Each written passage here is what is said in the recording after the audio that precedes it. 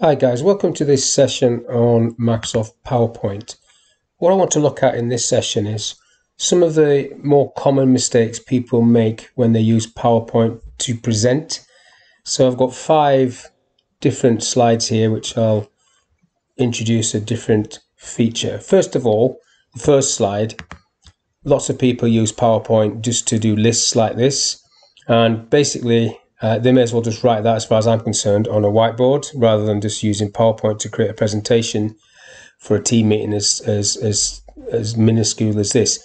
So boring slides, quite often I go around different factories and different places and see people doing this every day and repeating themselves every day, recreating the thing. They don't even use a template. So PowerPoint is far, far better than just a, a white piece of paper with some text on it. The second one is too much information on a slide. I try and tell my classes when I'm teaching PowerPoint to keep th three points on a slide, but I don't expect them to put a whole paragraph of information on the slide. PowerPoint is there. If you're going to use PowerPoint, it is there as a tool to help you do a presentation. It is not the presentation. You are the person delivering the presentation. You should be using your own skill to get the message over to your audience having all that on a slide is just a pointless thing. Too much information. Nobody is reading that at all. So it's not even worth putting that slide up. And what's even worse is when people bounce through that slide, they don't stay on that slide. You then have to ask if you're in an audience watching that, why did they have that slide at all? Next one. This is the most irritating thing of all. The person doing the presentation sits looking not at you, the audience, but at their slides. And again, they read what is on the slide.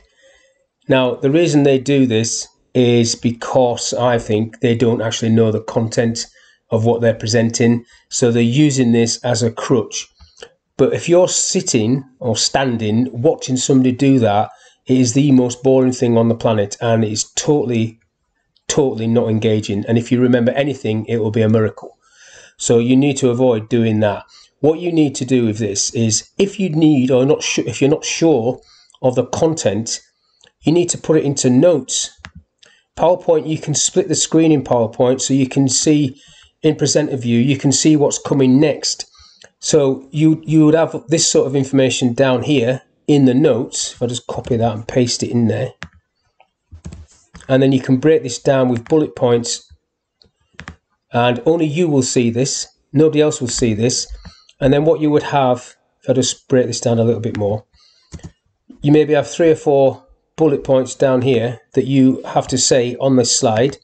And all you have on the slide are trigger phrases one liners or even one word just to get you in the right theme. And then you you say what's down here and then other people, I haven't mentioned this, but other people then fill this notes area with masses of information. Too much information for any presenter to remember or even try and suggest uh, speak in a presentation. So it's not just the slide that needs to be uh, as a prompt. This also needs to be thought through. You know, bulleted, not too much information, and um, don't try and reinvent the world by typing everything down here. This usually happens when you've got people doing a presentation for you and passing it around.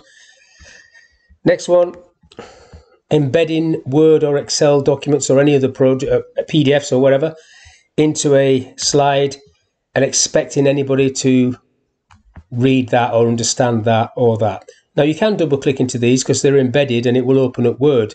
And that is how I would try and do it. If I need to show somebody a Word document, say a form that people need to fill in, I would print the form off and give each person a copy of the form so they can physically see it on the on their table or the desk. And same with this information, if I can. If I can't, what I would be doing then is I would be creating a let's just double click on Excel for example. I would be creating an hyperlink or a link to that file. So it's not a place in this document, it's an actual file. So I'm going to just um, browse for something. I must have something in here actually. Let's have a look. Um, I don't know what that is. But let's just link to that. So now you have a hyperlink, which doesn't work until you are in full presentation mode. But now I would be able to hyperlink into Excel and it will open that file and then you would be able to have the full functioning of X, full functionality of Excel or Word or whichever program. And then when you finish, you just close that program down and you come back to this slide. It's a no-brainer if you want to show a lot of information.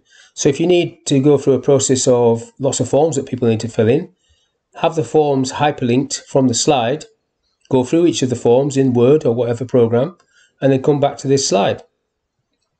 And then the next one is too many transitions and too many animations. So if I just go into presentation mode on this this, this one, because I've already got lots of different transitions. So transitions is how one slide moves from another. So you can see this, I've got different ones going on and like so. And animations, these are the animations that you can get people get well carried away with animations. You've got to be careful I've already said don't be too boring when you're presenting, but that's your presentation style. But what you've got to be careful of is when you are doing animations or transitions, is that they don't become the distraction that you're trying to avoid. Like that. Now, I can remember my first ever PowerPoint presentation back in 1985. That's how long it's been around.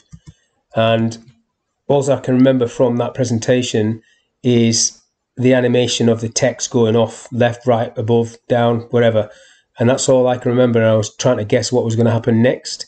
There is a feature called random. You need to avoid that like the plague. What I try to do is keep everything fairly standard. So I use personally dissolve for transition and dissolve for all of these as well. So then things just dissolve in. If I just show you that, I'm not saying it's not in these first ones, so a lot of people don't know about it, but if you go down onto more entrance effects, you've got dissolve in here. And then if I put that slide into full screen, it's not doing anything weird and wonderful. It's just coming in on the mouse click and nice and easy like so. And then if I just escape that for a minute, what I do for transitions is exactly the same. So in this list, you've got dissolve again, uh, whatever it is, can't see it. Dissolve apply to all slides, got a consistency of transition. You put this into full screen and then everything is dissolving on this. I'd have all the bullets dissolving and the slides dissolving and you can see how that looks fairly professional. Now I only got the first slide to actually dissolve the bullets. The text on this slide wasn't set to anything. It just appeared. But these are just a few of many, many um, mistakes that people make in presentations when they're using PowerPoint, and I'm sure people watching this will have a list far longer than the ones I've done, but it's just to highlight a few. So that's the end of this session. Thank you for your time.